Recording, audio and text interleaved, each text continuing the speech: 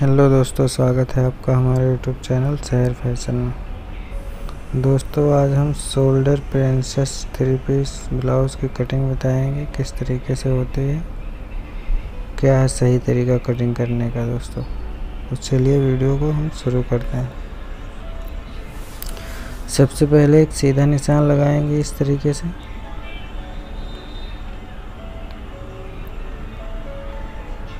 उसके बाद में अपनी लंबाई नापेंगे, जैसे कि हमारा लेंथ है चौदह तो हम पंद्रह पे लगाएँगे।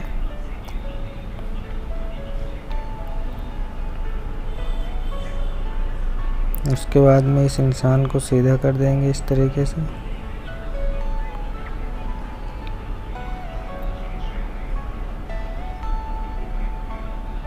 इसका शोल्डर है पंद्रह।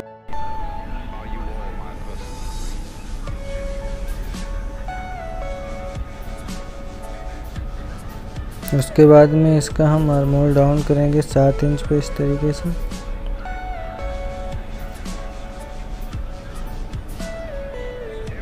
उसके बाद में एक सीधा निशान लगाएँगे इस तरीके से।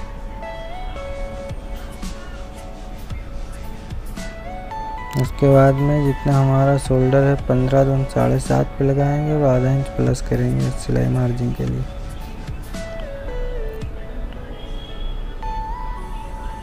एक इंची का शोल्डर स्लोप रखेंगे हम जो क्रॉस करेंगे शोल्डर को।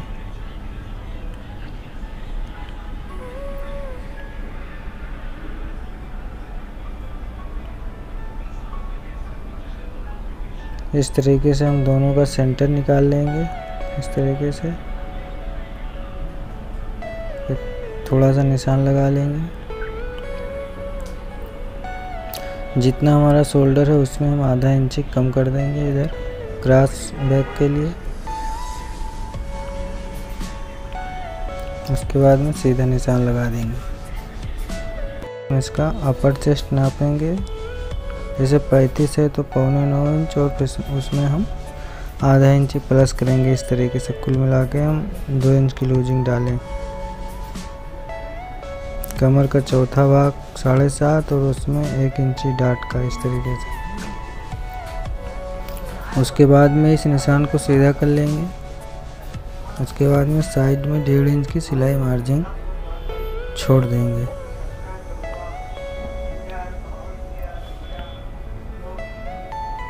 इस तरीके से फ्रंट कर्व रख के इसकी गोलाई दे देंगे। इस तरीके से हमने तीन इंच पे रख के हम एक शेप दे देंगे इस तरीके से। उसके बाद में हम कंधे रखेंगे तीन इंची तो हम पौने चार पे निशान लगाएँगे इस तरीके से। और बैक नेक हम ओपन करेंगे। इस तरीके से बैक का भी निशान लगा लेंगे, तीन इंच पे इस तरीके से बोट नेक का शेप दे देंगे। इस तरीके से। जैसे कि हमारा आर्मोल है सोलह तो हम इसको नाप लेंगे एक बार। इस तरीके से। दोस्तों, एकदम परफेक्ट है ये। बैक का डाट का भी निशान लगा देंगे इस तरीके से। बीचों बीच से हमने थोड़ा सा साइड में ही रखा है आधा इंच इस तरीके से पाँच इंच का डाट ले लेंगे। एक इंच हमने छोड़ा था डाट के लिए, इस तरीके से आधा आधा इंच ले लेंगे दोनों तरफ़।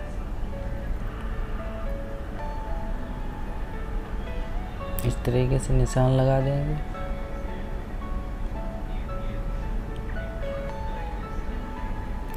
साइड को भी हम उठा देंगे आधा इंच इस तरीके से, ताकि जब डाट लगाएँ तो बैक हमारा सीधा आए। और इधर भी एक सूत उठा देंगे।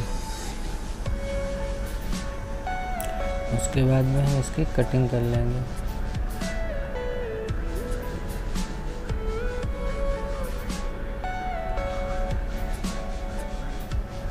इस तरीके से चटका भी लगा देंगे साइड में दोनों तरफ़। बैक डाट का भी लगा लेंगे इस तरीके से।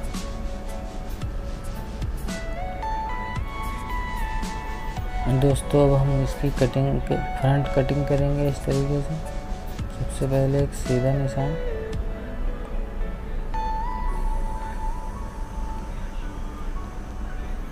उसके बाद में सामने की तरफ़ हम तीन सूत का सिलाई मार्जिन रखेंगे ताकि आई हुक की पट्टी लगे। इस तरीके से। उसके बाद में बैग को रख के सेम निशान उठा लेना है, लंबाई का निशान इस तरीके से और गले का आरमोल का इस तरीके से निशान उठा लेंगे उसके बाद में हम बैग को हटा देंगे और इस निशानों को थोड़ा डार्क कर लेंगे ताकि आप लोगों को बराबर दिखाई दे।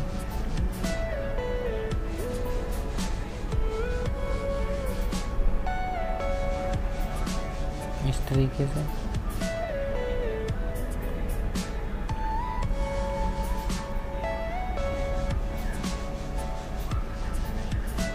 तरीके से क्रॉस फ्रंट का भी निशान लगा देंगे पौना इंच अंदर करके इस तरीके से। और फ्रेंच कर्व रख के इस तरीके से गुलाई दे देंगे। दोस्तों, कभी भी ज़्यादा गड्ढा ना करें फ्रंट आर्मोल को। इस तरीके से इसका फ्रंट नेक करेंगे हम चार इंच का, इस तरीके से निशान लगा लेंगे, फिर फ्रंट कर्व रख के इस तरीके से गोलाई दे देंगे बोट नेक का। दोस्तों, इसका बस्ट पॉइंट आएगा साढ़े नौ तो हम दस पे निशान लगाएँगे और एक दूसरा निशान हम दो इंच के नीचे लगाएँगे।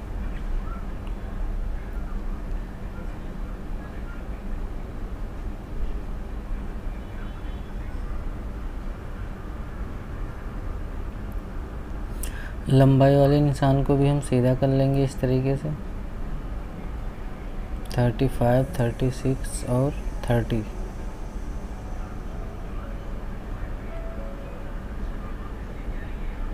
दोस्तों,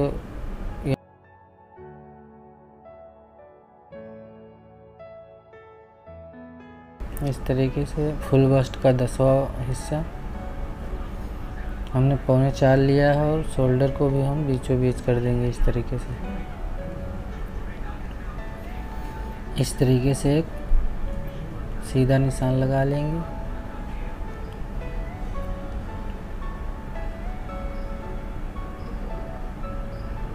इसमें हम तीन इंच का डाट देंगे। उसके बाद में हम नाप लेंगे जितना हमको चाहिए। कमर से हमको दो इंच बड़ा ही चाहिए।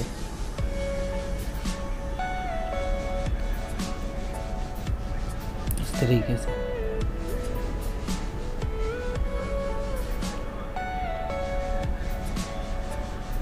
उसके बाद में इन दोनों निशानों को हम मिला देंगे।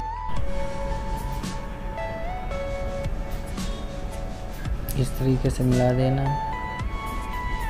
उसके बाद में हम साइड मार्जिन भी छोड़ देंगे डेढ़ इंची दोस्तों।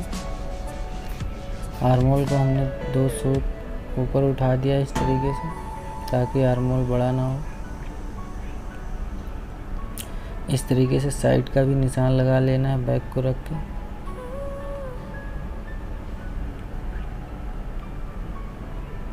इस तरीके से हमें तीन इंच वाले निशान पे इस तरीके से एक सीधा निशान लगा देना है।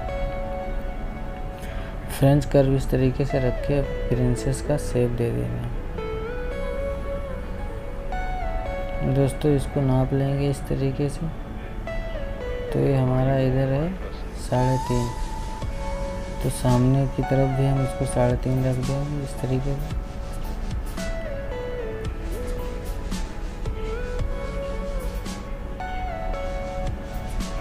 इसके बाद में हम इस तरीके से क्रॉस क्रॉस रख कर इस तरीके से उठा देंगे सामने की तरफ़। उसके बाद में हम बैग में पौना इंच इस तरीके से रख के उठा देंगे। दोस्तों, उसके बाद में हम ये नीचे वाली, इधर भी नाप लेंगे, कितना हमारा है। इस तरीके से। इसका भी एक निशान लगा देंगे। इस तरीके से।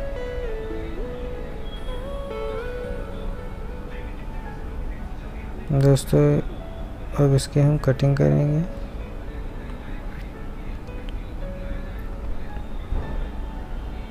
इस तरीके से सेम मार्किंग पे कटिंग कर देंगे। इस तरीके से छटका भी लगा देंगे। साइड में भी लगा देना इस तरीके से। और सेंटर में भी लगा देना। उसके बाद में हम इसको इस तरीके से मिला के देख लेंगे। दोस्तों, एकदम परफेक्ट है। दोस्तों, अब हम इसके क्रॉस बेल्ट की कटिंग करेंगे, जिसको हम योग पट्टी भी बोलते हैं। इस तरीके से सबसे पहले एक सीधा निशान, एक सीधा निशान इधर भी लगा लेंगे इस तरीके से। इसके बाद में हम, जैसे कि हमारा पौने चार इंच, इस तरीके से पौने चार पे निशान लगा लेना है। तीन इंची हमारा था। तो हमने पौने चार पे लगाया है, पौने इंच सिलाई मार्जिन, दोनों तरफ़। इस तरीके से क्रॉस निशान लगा देंगे। उसके बाद में फ्रंट वाले पल्ले को इस तरीके से रख के हम सेब का निशान लगा लेंगे इस तरीके से।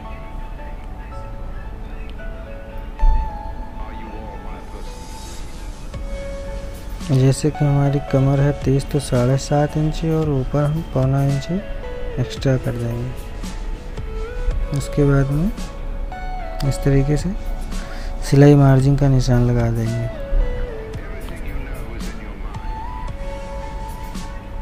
इस तरीके से रख के इसके हम सेप का एक बार निशान लगा लेंगे। उसके बाद में हम स्केल को रख के इस तरीके से इसका प्रॉपर सेप देंगे।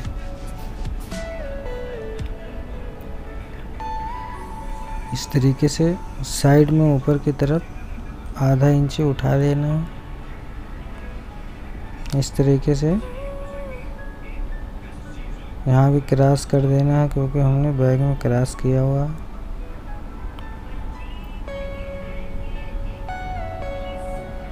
इस तरीके इस तरफ़ लिख देंगे फ्रंट ताकि सिलते वक्त कंफ्यूजन ना हो। इस तरीके से मिला के देख लेना भी है, बराबर है। दोस्तों, अब हम इसके स्लीव की कटिंग करेंगे। सबसे पहले एक सीधा निशान, उसके बाद में हम लंबाई नापेंगे। जैसे हमको चाहिए नौ तो हम दस पे लगाएँगे।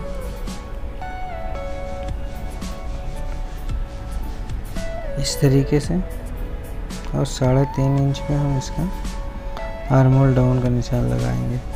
इस तरीके से। बारह इंच है इसका। बॉटम और तेरह इंच है बाईस है। इस तरीके से हम सात पे लगाएँगे यहाँ पे।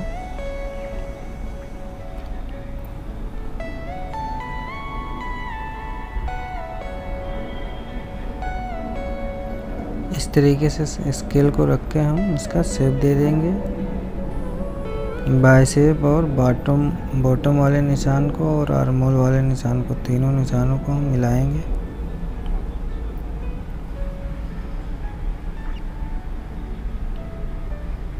अब इस तरीके से सेब ले लेना है।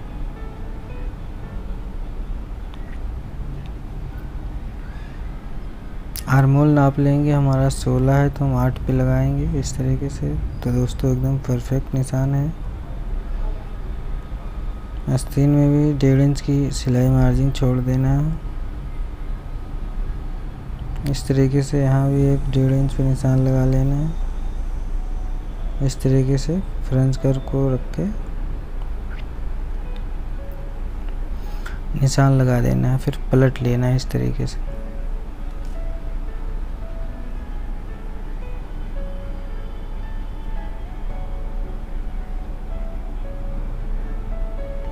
दोस्तों अब हम इसके। हाले का भी निशान लगा देंगे फ्रंट पल्ले का इस तरीके से। आधा इंच अंदर करके, उसके बाद में हम इसकी कटिंग कर देंगे इस तरीके से।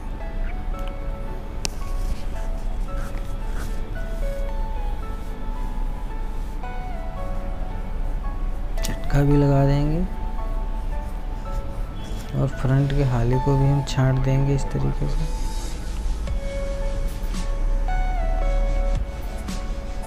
फ्रंट पल्ले में चटका भी लगा लेना है ताकि सिलते वक्त कन्फ्यूज़न ना हो।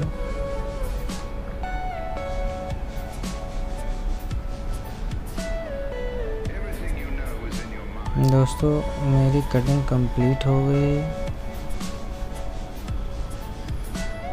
ये देखिए इस तरीके से।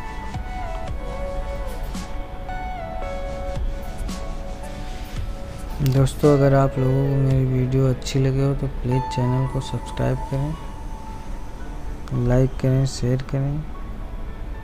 अगर आप, दोस्तों, अगर आप लोगों को कुछ नया सीखने को मिला हो तो प्लीज़ चैनल को सब्सक्राइब करें और बेल आइकन भी दबा दें, ताकि हमारी हर वीडियो की नोटिफिकेशन आप तक पहुँचती रहे। फिर मिलते हैं एक नेक्स्ट वीडियो में, एक नई वीडियो के साथ। तब तक के लिए बाय बाय, टेक केयर।